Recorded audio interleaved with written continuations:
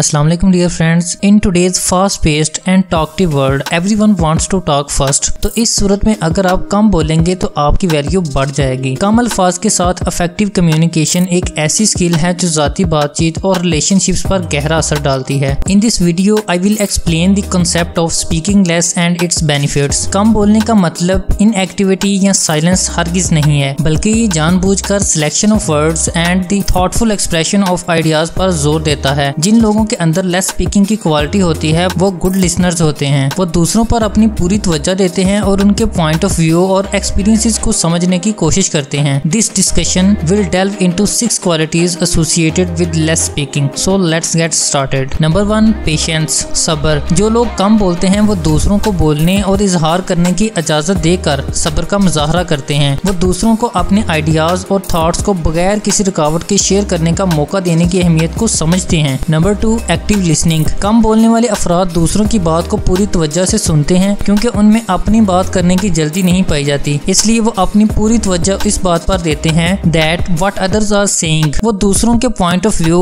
Thoughts और feeling में genuine interest का मुजाहरा करते हैं। नंबर थ्री थॉटफुलनेस जो लोग कम बोलते हैं, वो बोलने से पहले अपने अल्फाज पर गौर करते हैं। वो अपनी मसूल होने वाली मालूम पर गौर करने और सोचे समझे जवाब मरतब करने के लिए वक्त निकालते हैं, जिससे ज़्यादा मीनिंगफुल और इम्पैक्टफुल कम्युनिकेशन जन्म लेती है। नंबर फोर एम्पथी कम बोलने वाले अफराद दूसरों को अपने ख्याल का मुकम्मल इजहार करने के लिए एक प्रॉपर स्पेस देते हैं। ये हम दर्दाना म्यार उन्हें दूसरों के पॉइंट ऑफ़ व्यू एक्सपीरियंसेस और इमोशंस को बेहतर तौर पर समझने के काबिल बनाता है, जिससे मज़बूत रवाबत कायम होते हैं और तलकात को फरोग मिलता है। नंबर फाइव अफेक्टिव कम्युनिकेशन मुतजाद तौर पर कम बोलने से किसी की मवासलात की महारत में इजाफा हो सकता है। अपने अल्फाज के साथ मुंतखब होने से अफराद अपने ख्याल को ज़्यादा मुख्तर वाजिया और मौसर तरीके से बयान कर सकते हैं। And they priorities quality over quantity इस बात को यकीनी बनाते हुए कि इनके पैगाम मुतासर कौन हों और दूसरों को समझा जाए। Number six